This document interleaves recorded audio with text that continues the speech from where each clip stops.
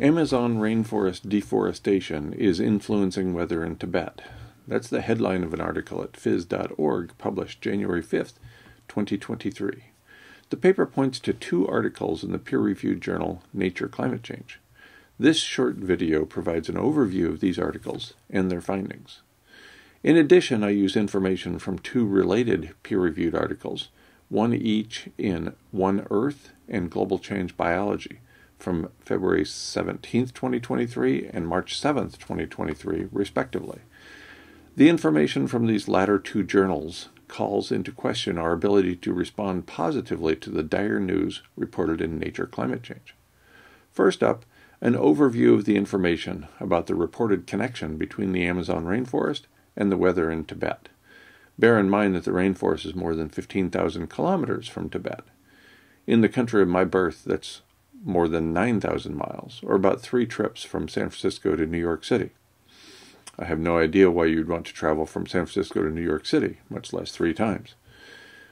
The initial article in Nature Climate Change was written by 13 authors. It's titled Teleconnections Among Tipping Elements in the Earth System. From the abstract of this open access paper comes this information. Quote, we find that the Amazon rainforest area exhibits strong correlations with regions such as the Tibetan Plateau and West Antarctic ice sheet. Models show that the identified teleconnection propagation path between the Amazon rainforest area and the Tibetan Plateau is robust under climate change. In addition, we detect that Tibetan Plateau's snow cover extent has been losing stability since 2008 we further uncover that various climate extremes between the Amazon rainforest area and the Tibetan plateau are synchronized under climate change. Our framework highlights that tipping elements can be linked and also the potential predictability of cascading tipping dynamics and the Tibetan plateau are synchronized under climate change. Our framework highlights that tipping elements can be linked and also the potential predictability of cascading tipping elements. In other words, and this is no surprise if you've been following my work for more than 20 minutes, so called tipping points, once crossed, are irreversible. In fact, any one self reinforcing feedback loop or tipping point is sufficient to make climate change irreversible. I identified a few dozen of these self reinforcing tipping points in a long essay at guymcpherson.com before I stopped keeping track in August 2016. The feedback loops I, ad- I identified were and are rooted in the peer reviewed literature. Remember, only one is required to ensure the irreversibility of climate change. Ever late to the evidentiary party, the Intergovernmental Panel on Climate Change has finally concluded that a so called tipping point had been crossed in its IPCC Special Report on the Ocean and Cryosphere and Changing Climate, published September 24, 2019. The second paper in Nature Cl- Climate Change merely comments on the first paper, pointing out with considerable excitement that this research had established a long distance linkage between tipping points. This is hardly new, of course, with well known examples being reported for many years involving the El Nino Southern Oscillation and the impacts of the warming Arctic Ocean on the entire planet. Mongabay provides additional perspective on the peer reviewed open access paper in Nature Climate Change. Specifically, this article, published on March 8, 2023, begins with four italicized bullet points and continues to this paragraph. Quote, There's a recent saying grown popular among climate scientists what happens in the Arctic doesn't stay in the Arctic. Now, new research adds to our understanding that, likewise, what happens in the Amazon rainforest doesn't stay there. End quote. In other words, the story in Mongabay begins by highlighting the long known teleconnection between the Arctic and the rest of the world.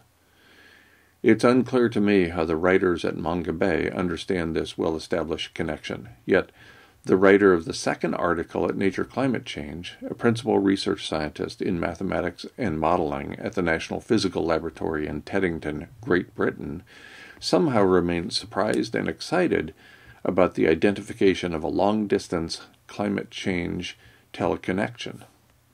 I now turn to the open access peer reviewed paper at One Earth written by eight scholars.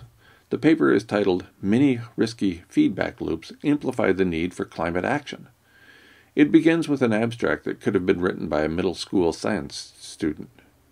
Quote, Many feedback loops significantly increase warming due to greenhouse gas emissions. However, not all of these feedbacks are fully accounted for in mm. climate models.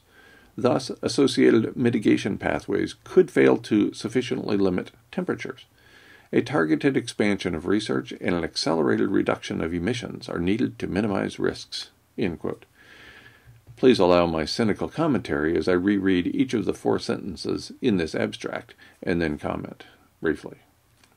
Sentence 1 quote, Many feedback loops significantly increase warming due to greenhouse gas emissions. End quote. Duh. Sentence 2. Quote, However, not all of these feedbacks are fully accounted for in climate models. End quote. Of course not. No model is complete. They're models. They're not reality. Sentence 3. Quote, Thus, associated mitigation pathways could fail to sufficiently limit temperatures. End quote. Yeah, right. As if we're making a serious effort. Sentence 4 quote, A targeted expansion of research and an accelerated reduction of emissions are needed to minimize risks. End quote. Let me know when you're ready to give up an ounce of privilege to make this happen.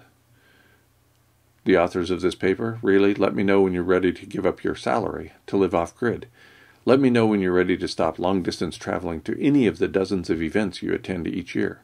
Apparently, reducing carbon emissions is for other people, not for you. The main text of the paper in One Earth begins thusly quote, As we increasingly understand climate change as a series of disasters in the short term and a major threat in the longer term, many governmental jurisdictions and world scientists have declared a climate emergency. In addition, nearly all countries have signed on to the Paris Accord, which calls for limiting warming to 2 degrees C and ideally 1.5 degrees C. I'm not a climate scientist. I've never claimed to be a climate scientist, but I know that we passed the 2C Rubicon years ago. Consider this line from page 31 of Andrew Y. October 8, 2020 book, The Event Horizon. Quote, during the Anthropocene, greenhouse gas forcing has risen by more than 2.0 watts per meter squared, equivalent to more than 2 degrees C above pre industrial temperatures, which constitutes an abrupt event over a period not much longer than a lifetime. The eight authors of the peer reviewed paper published by One Earth don't know that 2 degrees is in their rearview mirror. They don't even know that 1.5 degrees is behind us. Neither do the peer reviewers or the editor. How could this be? It gets worse, of course. From a popular article at Earth.com published March 10, 2023, entitled Dangerous Climate Feedback Loops Have Been Underestimated, we learn this quote, Current climate models may underestimate some of the effects of global warming because they fail to take full account of the role of amplifying feedback loops. One of the leaders of the study said of the 27 amplifying feedback loops they considered in their research, quote, this is the most extensive list available of climate feedback loops, and not all of them are fully considered in climate models. End quote. A quick look at my blog shows 68 self reinforcing feedback loops, not 27. And again, I stopped counting in August 2016, more than six and a half years ago. And again, it only takes one of these so called tipping points to demonstrate that climate change is irreversible. It gets much worse, of course. Consider a paper in the peer reviewed Global Change Biology written by five scholars and published March 7, 2023. Titled Protected Areas Not Likely to Serve as Stepping Stones for Species Undergoing Climate Induced Range Shifts, the paper demonstrates that, as the title indicates, protected areas are not likely to serve as stepping stones for species undergoing climate induced range shifts. In fact, the paper concludes, quote, that over half of protected land area and two thirds of the number of protected units across the globe are at risk of climate connectivity failure, casting doubt on whether many species can successfully undergo climate induced range shifts among protected areas. Consequently, protected areas are unlikely to serve as stepping stones for a large number of species under a warming climate. To summarize, then, first, Amazon rainforest deforestation is influencing weather in Tibet, and this is hardly the only example of the few remaining butterflies flapping their wings in South America and therefore disrupting the weather in Africa. Second, self reinforcing feedback loops are occurring, and people who claim to be scholars are surprised. It's certainly not a surprise to me, nor anybody following my work for the last decade or so, nor anybody who reads the drivel put out by the IPCC. Third, areas set aside as reserves are not going to save the non human species we claim to love. By the way, they are not going to save us either. Seems Homo sapiens sapiens, the twice proclaimed wise species by the not so swift species doing the naming, cannot live as if there's no tomorrow, and expect a lot of tomorrows. To quote my favorite singer songwriter, it's a story that's sad, but it's true.